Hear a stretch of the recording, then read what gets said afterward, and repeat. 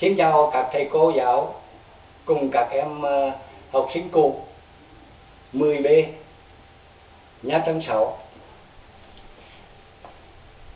Tối ngày mùng 10 tháng 11 năm 2012 tập thể lớp 10B trường trung học phổ thông Nha Trang 6 đã tổ chức lễ kỷ niệm tri ân các thầy cô giáo nhân ngày Nhà giáo Việt Nam 20 tháng 11.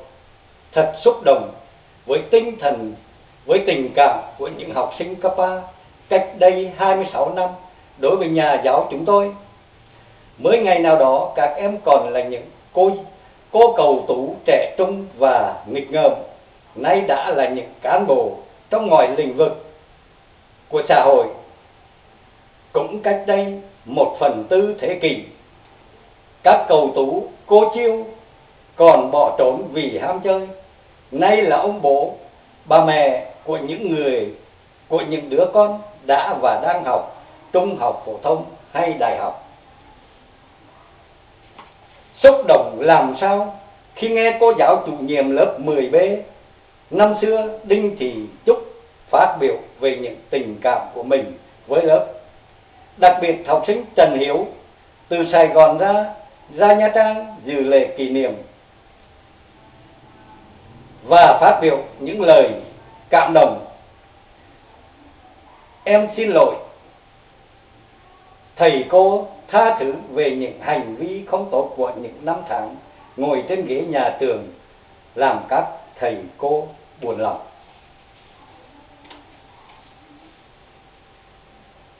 Trong không khí ấm tình thầy trò, trọng đạo tôn sư là những là những bó hoa tươi thắm của học sinh tặng thầy cô.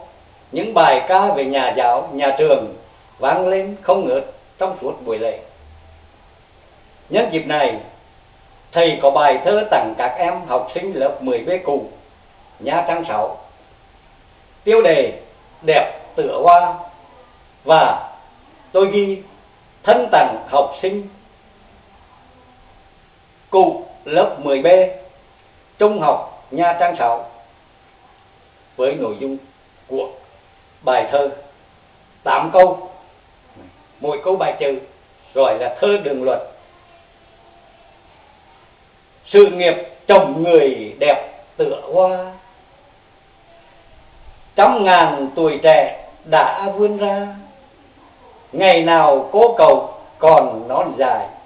Hiện tại các em đã vượt qua gặp mặt thầy trò tình lưu luyến giáo lưu bản hữu nghĩa cao xa.